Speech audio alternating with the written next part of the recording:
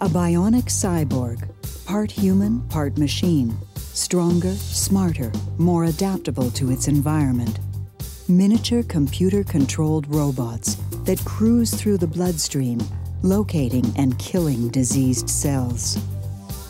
Three-dimensional images, so real they can allow us to see the results of reconstructive surgery before it happens.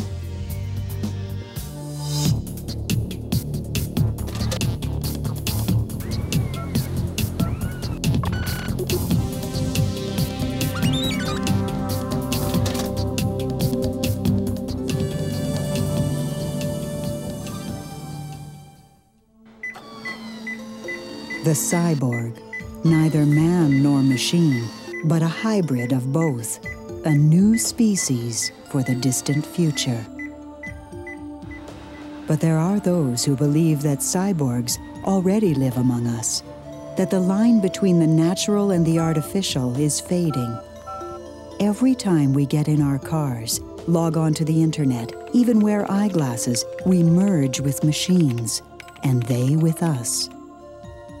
Well, we already have cyborgs here today. They're very simple ones. They have in cardiac pacemakers, they have artificial hips, uh, that have uh, diaphragmatic pacers. Uh, some of them have artificial prostheses.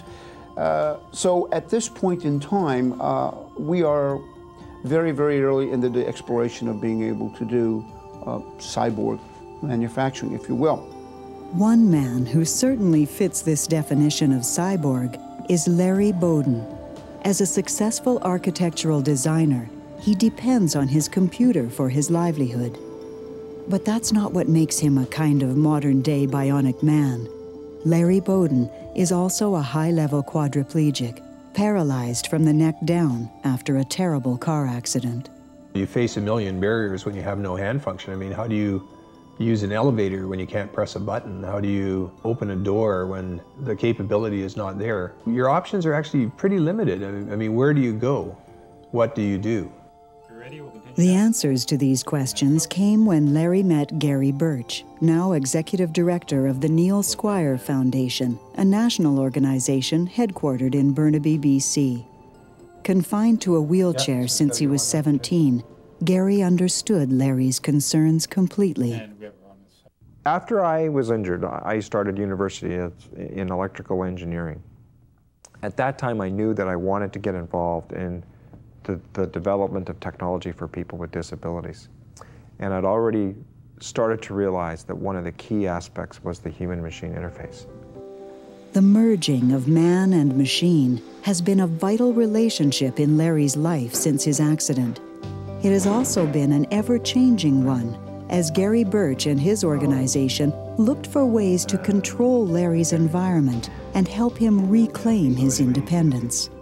The technology has actually gone from very simple things, uh, like simple switches, which are air control operated, and uh, eventually we started to build environmental controls that were voice activated.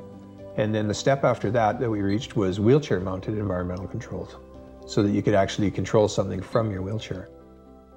What we came up with was a, uh, a computer that ran off of a radio signal with a menu-driven uh, screen that you could control certain things in your own home environment.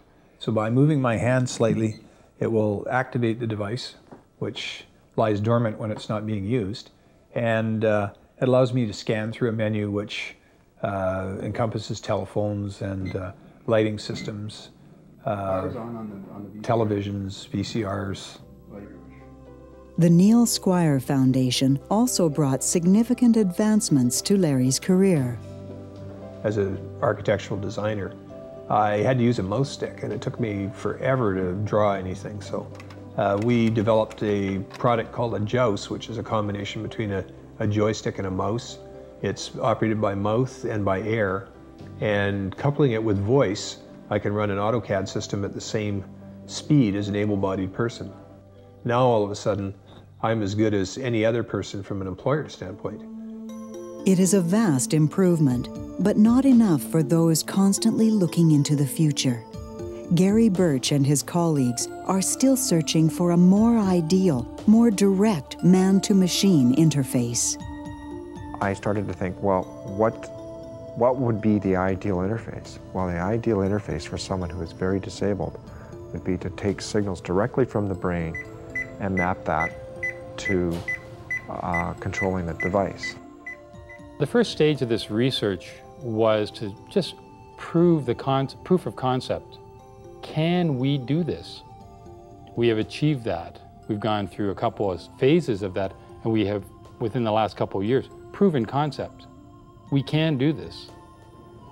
Biometric signals inherently have more error than physical devices that we have. So if we can successfully find ways to reduce that error so that our brain switch is very reliable, okay. then we can apply it to specific applications, more critical applications. Which is why Larry Bowden is here today at the Foundation's Brain Interface Laboratory. He is about to take the next step in an experiment that could revolutionize medical technology and open doors to the future. An ordinary man about to become a true 21st century cyborg. Uh, the concept of cyborg is, which is really popular in the current media, is basically you have non-organic material embedded and interfaced directly to the human organic material systems. So there's augmented function. The nylon mesh placed on Larry's head is actually a sophisticated device called an EEG cap. Its metal electrodes are designed to pick up specific electrical brain waves. An electrode gel injected through the holes on the cap serves as a conductor. Larry's brain waves are digitized and fed to a computer that will understand these brain waves and obey certain commands. My method of, of making the switch work is that I mentally and physically try and move my finger, which is paralyzed. So by doing that, they can see me uh, physically trying to move something, uh, which is just something that they can measure. It's a measurable response. And I know that by trying to move my finger, I can make something happen on the computer. While Larry's mind interacts directly with the computer, Steve Mason monitors how accurately the computer responds to Larry's brainwaves. Once initial testing is complete, Larry moves on to the next phase. He will attempt to navigate a simulated maze using only his brain. The maze is a virtual environment, often seen like in standard video games where you're running through halls in this case, you'd be wheeling through halls. And as he comes up on different intersections in that we have, he has control over the direction he can go through the maze. When he wants to make a turn in the maze, he will activate that turn by trying to move his finger. Larry's brain signals tell the computer whether he wants to turn left or right, the computer obeys with astounding accuracy. In the next experiment, Larry will use his mind to select an environmental control option from a menu. The environmental control system is designed to control uh, appliances like lights, TVs, VCRs, stereos in the environment. So Larry will be watching a little menu system that's built on a Palm PC. It will scan automatically and Larry with his switch will be able to select an item to turn it on, turn it off. There's a pointer or a cursor that moves along, and when it points at the device that he'd like to control, he will then attempt to move his finger. He can't actually move it, but that's the way he, he will trigger it. Again, Larry Bowden's brainwaves successfully interact with the computer Excellent. with 98% accuracy. We are witnessing the birth of human-machine interface evolution.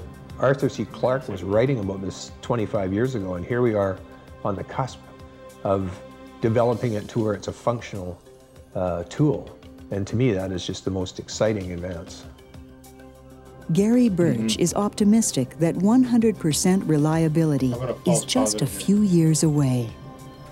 We're one of the few labs in the world that's doing this with scalp recorded EEG signals. The challenge is that sometimes the brain signals are so complicated and there's so much going on, it can fool the switch. We've been able to reduce that to a very low level. And I think we have to still improve that. And what keeps me going is that I see this technology happening. I can, I can see this as being one of the key ways of achieving people with disabilities being able to have much fuller lives. You can imagine that if someone is able to obtain good control with their brain, even though they may be totally physically paralyzed, they may be able to guide a robot very sophisticatedly. 10 years, we'll have electrodes that are actually implanted in the, in the skull. Exoskeletal devices that are placed on a person with paralysis, which are powered to move the limbs around. And you would be in control of those exoskeletal devices by using your brain. In the future, I could leave my house, I could, I could sink the wheelchair lift down in my van, I could uh, get in my van, I could sink my van to lock me down, I could think left, right, brake, stop. I could actually drive somewhere by myself. The, the sky is the limit. Okay, so let's do an isometric contraction on the biceps. Go ahead and flex. The future that Gary Birch describes will have its roots in research currently being conducted. Dr. Jacob Rosen is a professor of electrical engineering at the University of Washington, and he and his colleagues are already making important inroads in the development of exoskeleton technology. An exoskeleton is a robot that you wear, the same way as you wear a shirt or a cloth. It has links and joints that corresponds to your, your arm, your, your bones and joints. The exoskeleton is, is, a, is an active thing. So as you wear it, you expect to control it in, a, in an intuitive way. That intuitive control will come at the neuromuscular level, using the brain's command signals to the human muscle to give similar commands to the exoskeleton. The idea behind human machine interfaces is to pick the right uh, level in which you, the human, are interacting with machines.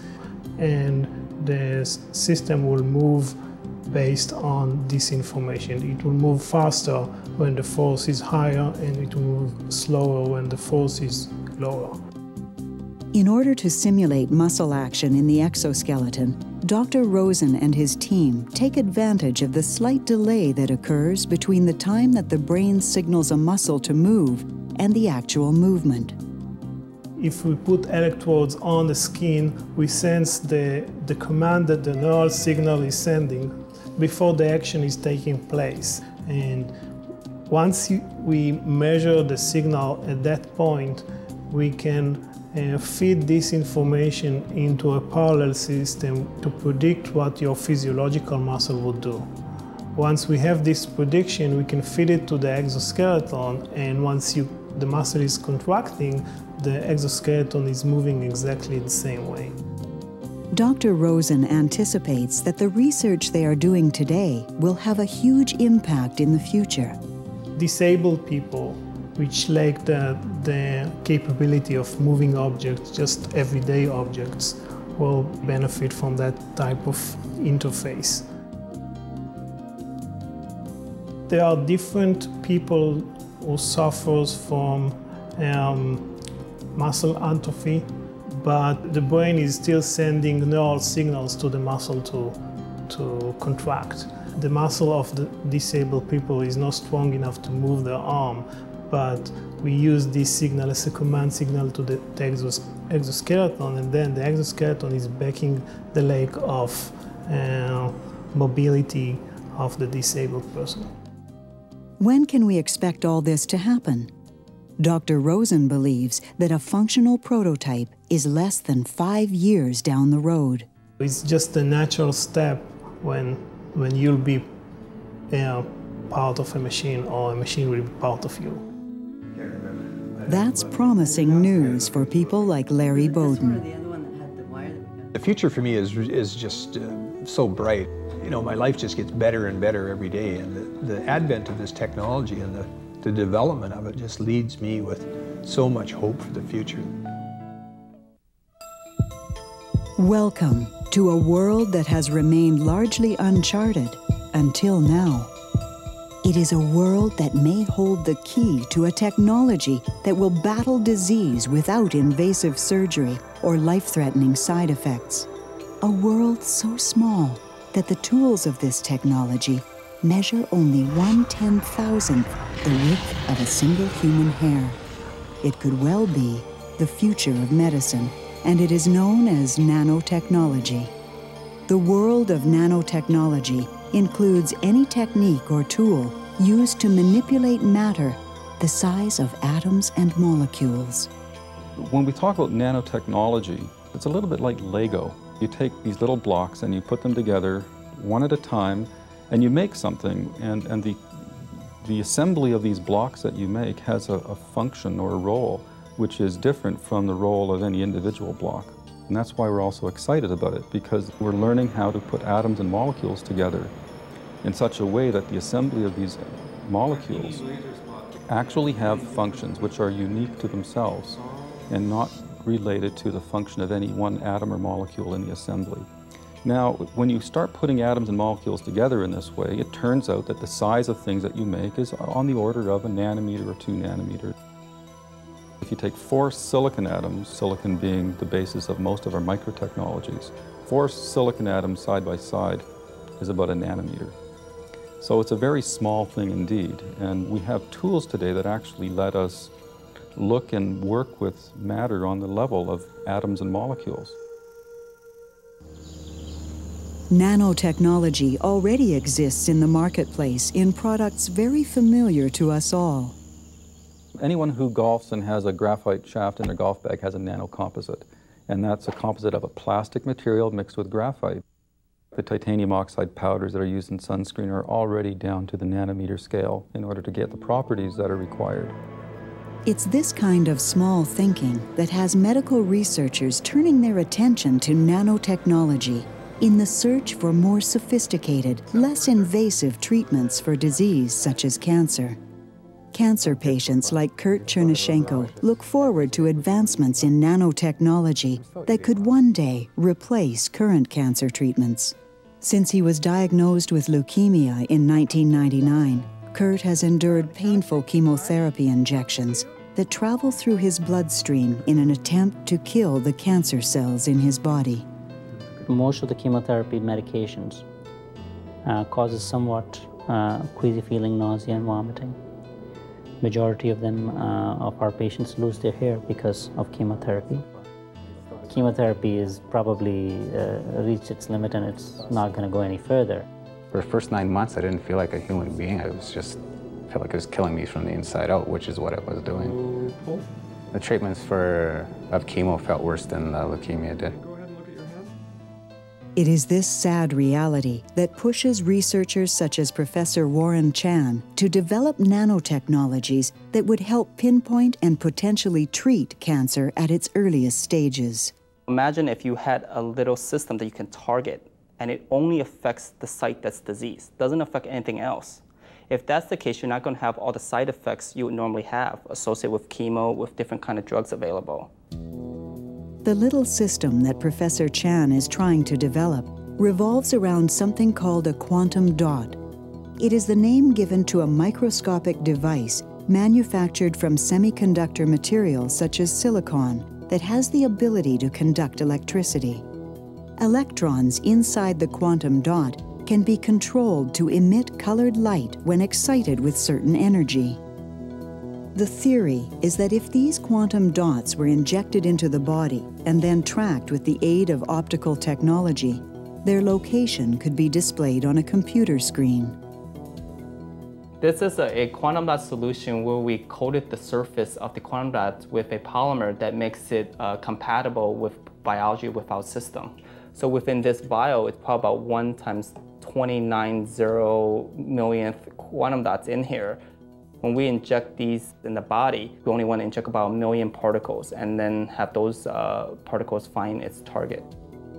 Professor Chan's goal is to train these dots to hunt down and attach themselves to singular cancer cells, exposing them like tiny searchlights before these cells have the chance to become deadly. If you have a, a, a cancer lump in, in, your breast, the doctor can remove uh, X amount, right? But if you have one or two cells that survive, that the doctor doesn't remove completely, those cells can grow and become cancerous.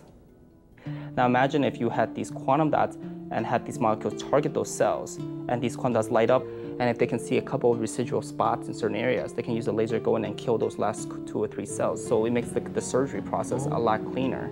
Because if you look at, at every kind of disease going from SARS to AIDS to cancer, it's all based on a molecular setting. We need to find out what are the difference between, let's say, a, a cell that's infected with SARS versus a cell that's infected with AIDS. Then what we need to do now hook it up to something that will allow us to see those molecules, and that's where quantum dots come into place.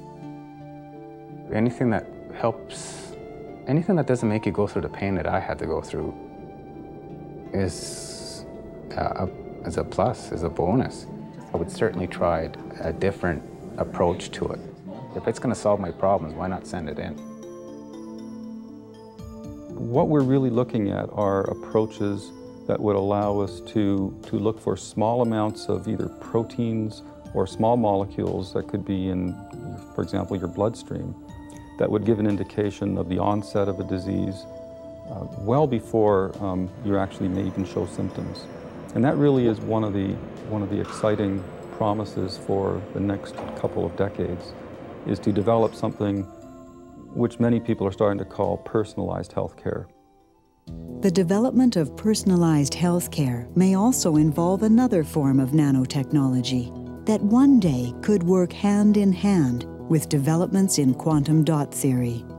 I think maybe the, uh, the scalpel and all those tools will slowly disappear to make room for different technology uh, that will be uh, more and more under computer control. In the not so distant future, a cancer patient comes to her doctor for treatment. But instead of using scalpels or debilitating chemotherapy, the doctor offers his patient a treatment developed specifically for her own genetic makeup. Welcome to the age of nanotechnology.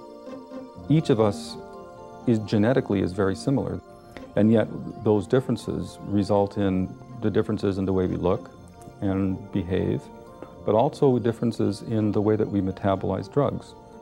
So the idea that we can go to our doctor's office, have a quick screen of our genes that would then be used to determine which drugs to use or which therapies to actually undergo is something that is really going to be revolutionary. The future will also see medication engineered at a molecular level so that it will treat only diseased cells or tissue and leave the rest of the body alone, eliminating harmful side effects. These drugs have an, have an effect in other parts of your body other than where they're intended. But what we're seeing now is evidence that we will be able to generate little capsules for drugs that go into your bloodstream and find the, the, the cells or the tissue of interest, attach themselves, and then release the drug locally. Nanotechnology also has the potential to revolutionize the way doctors diagnose their patients in the first place using something called a nanoprobe. Taken like a pill, it would move through the body, communicating collected data to the physician. But nanotechnology offers the possibility that we would actually be able to monitor hundreds or even thousands of different molecules simultaneously in our bodies um, with an implanted sensor and, and actually be able to then detect the onset of an infection or a disease long before you even show a symptom. Beyond just diagnosing a patient, miniature robots known as nanobots could also perform microsurgery from inside the body, communicating directly with the surgeon on the outside. Here in the nanorobotics lab at Montreal's École Polytechnique, Sylvain Martel is pioneering research into nanobot technology. We're building robot, miniature robot. Those robots receive instruction from a main computer to do accomplish uh, various tasks. Everything's computerized. So now we can see the surgeon on the computer screen that click about a specific region when they want those you know, microsystem to go and it will go automatically under computer control. Professor Martel is developing technology that will allow him to navigate a fleet of nanosurgeons in a patient's bloodstream, controlled by a computer using infrared communication. We're still on the, uh, on the fundamental research about we can right now propulse those systems in the bloodstream. Uh, we have some prompt controlling, but that's just a question of time. Although drug delivery is one possible application of nanotechnology, Professor Martel and others in his field have an even greater vision. Everything is made of atom. Those are the building block of everything. By uh, putting those, uh, those atoms in specific place, you create molecules, and then you can create new drugs, you can create new material, you can create about anything. This process of reassembling atoms and molecules to create an entirely new material is called nanofabrication. There are going to be applications to human health in uh, a number of areas the rapid diagnosis of disease, in uh, the discovery of new drugs and therapeutics, all the way to artificial organs and artificial tissues that are used uh, to replace tissues that, have, that are already deteriorated. One other area that's going to be of importance for nanotechnology will be in the area of uh, tissue regeneration. Things like artificial organs or supports that allow the regrowth of, of tissues like bone or nerve cells so that we can actually start to repair things like spinal cord damage uh, are currently under research uh, in a number of places across Canada and the world and really promise to, uh, to deliver real therapies uh, within the next decade or so. So I guess what I could say is that nanotechnology does promise to be revolutionary and to touch almost every aspect of, of, of uh, science and technology today. This new technology may be revolutionary and in its infant stages, but it can't come soon enough for cancer patients like Kurt Chernyshenko. I would most definitely be seeking another alternative way if they said this microscopic way would do it. If the robots would only attack the cancer cells, it would save me so much uh, grief and so much pain because chemo was going in like a kamikaze drug and it's wiping everything out as it's going in. It doesn't distinguish which is good and which is bad. It's just killing everything on the way in. So if the robots are going to kill the one thing, it's going to save me so much more pain. While some may regard it as little more than the product of a creative imagination, Professor Sylvain Martel sees nanotechnology as science fiction about to come true. It's interesting to see those Hollywood uh, movie. Now, it's not 100% true, but there's always a, another percentage which is makes sense. We might be wrong, but we might be right. So we don't know. This is part of research. The research and creativity that will one day bring nanotechnology out of its infancy is already providing new dimensions to the exploration of the human body. It is called 3D imaging, and it is already moving today's operating room into the world of tomorrow. The Seaman Family Research Center in Calgary, Alberta. Here, a group of researchers and surgeons are merging human with machine to bring a new dimension to the operating room. The brain is the center's main focus, and at the heart of its research is magnetic resonance imaging, or MRI. While MRI is not a new science, what is new here is its use inside the operating room. Once only able to provide a two-dimensional picture of a specific layer of body tissue, it now uses a large, very powerful magnet and radio waves to create detailed cross-sectional images on a computer. Fundamentally, it means producing a volumetric image of an object, or in our case, a human being. We're interested primarily here in the head. So we want to produce a 3D object of the person's head and brain. If you see a series of 2D images, it's hard to tell what's happening out of the imaging plane, what's going on above and below the plane you're currently looking at. But if you stack those images up, let the physician rotate the head around on the computer and cut in from the side, all of a sudden they have a new image that wasn't actually acquired. And that's the power. It gives them a whole bunch of new information. Um, Today, specialists are using that information to remove a tumor from the brain of a woman patient. MRI plays a key role in preoperative planning. Well, Nick, can you show me the uh, sagittal images? Center Director Dr. Garnet Sutherland is also a neurosurgeon and part of the surgical team that uses the MRI in the OR. Patient was positioned in the planned uh, position for surgery. It was at that time imaging was brought into the operating room. The MR magnet came into the room, went over the patient, and performed our imaging set. We've created, with these MR images, a three-dimensional map of her brain. So we, we are now very knowledgeable of the anatomical structures relative to our pathway that we're about to enter. This is a cut, what is called a sagittal cut through the brain and upper spine. And we see the tumor sits right here in front of the structure called the, the spinal cord and the medulla or brainstem. And it's a fairly large tumor, and it has displaced the brainstem and the spinal cord backward, uh, severely compressing uh, these structures. For the surgical planning, you have to plan the approach to the tumor, and you need to know what major structures, what bones, what arteries, and what nerves are nearby or could possibly be in the way. And to see that relationship to the mass that you want to remove, you really have to have that 3D imaging. Uh, the patient gets benefit because they get a more uh, complete representation of the anatomy and the physiology and the function that's going on. And it helps uh, physicians because they naturally think in terms of 3D. And if you can show them something in 3D, they get a better feel for how big it is, what its extent is, and what other regions of the brain, for example, that it might be interacting with.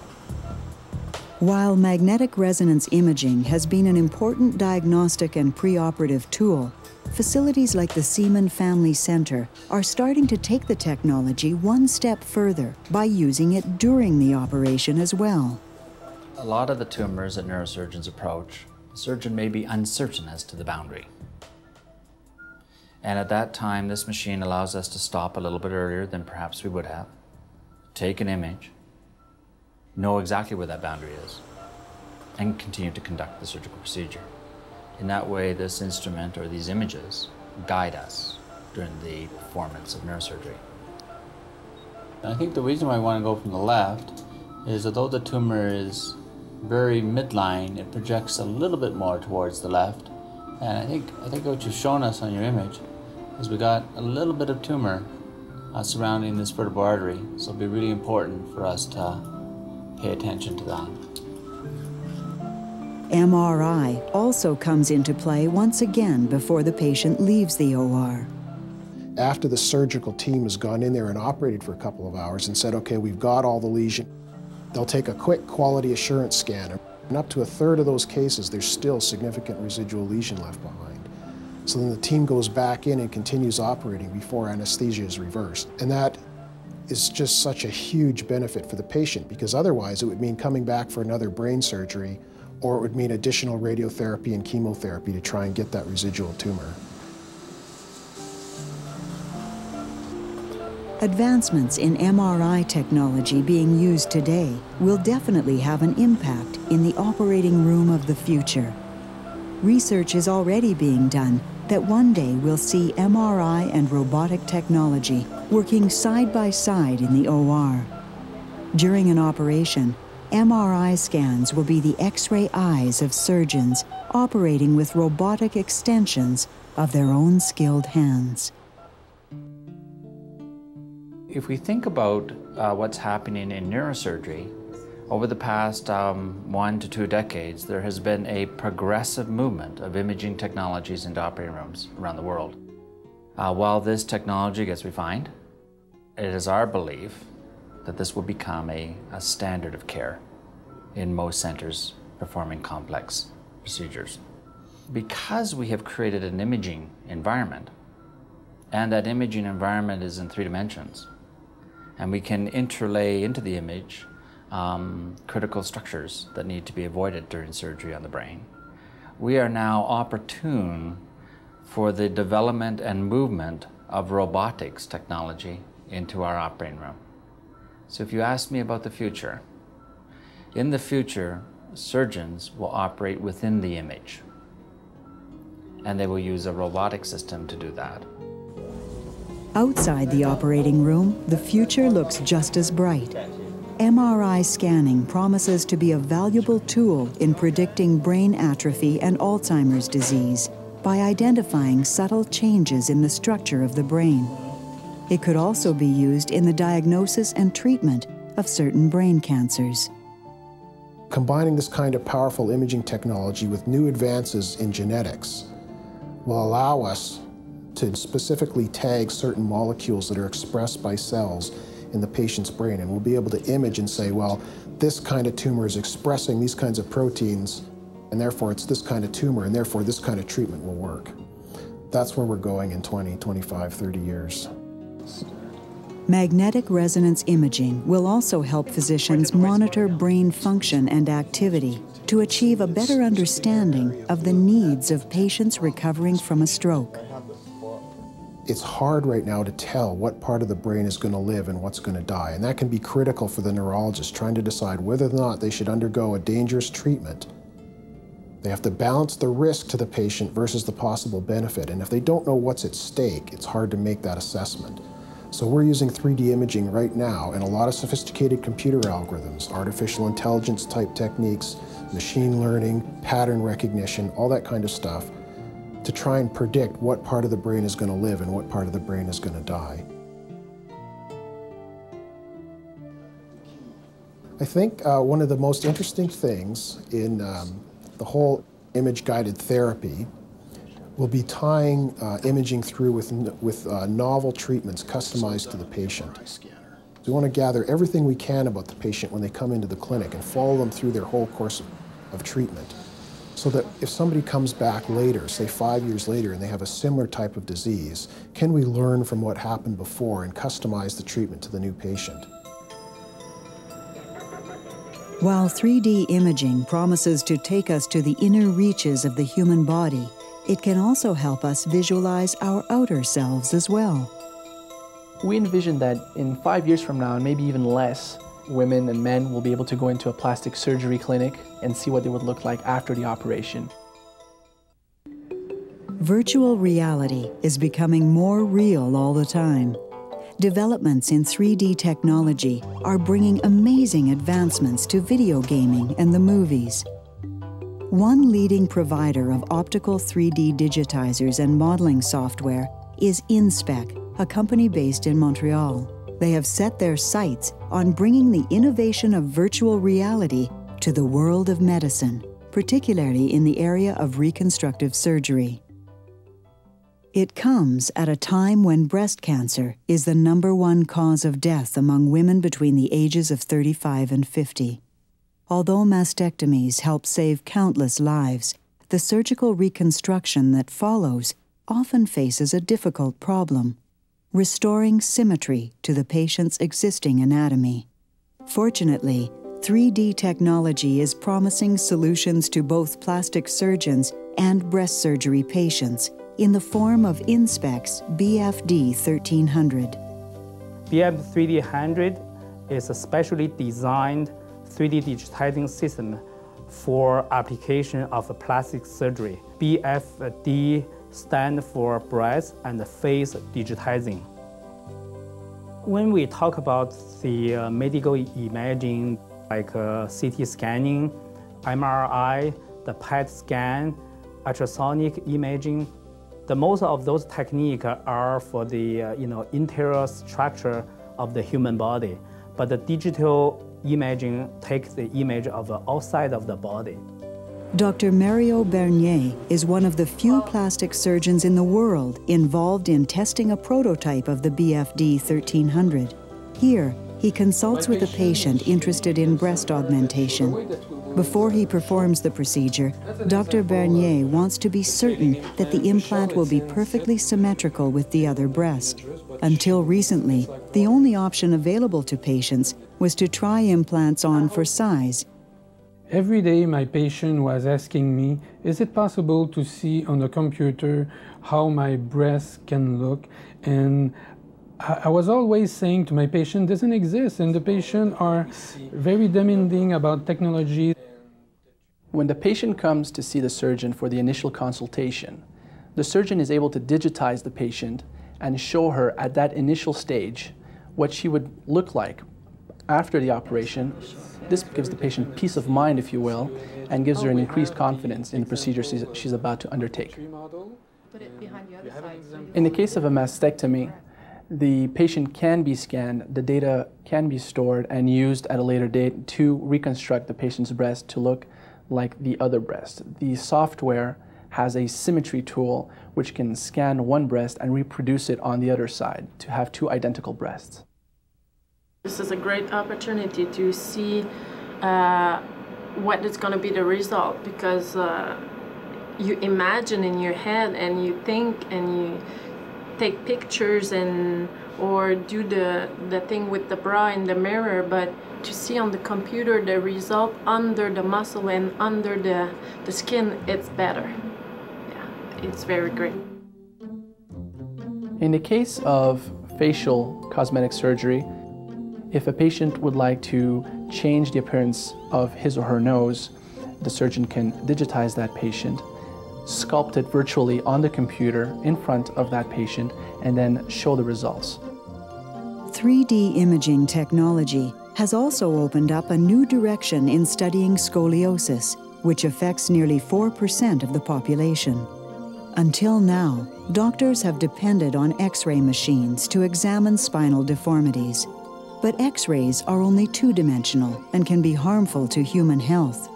Unlike 3D imaging, which uses the same halogen light found in a camera flash.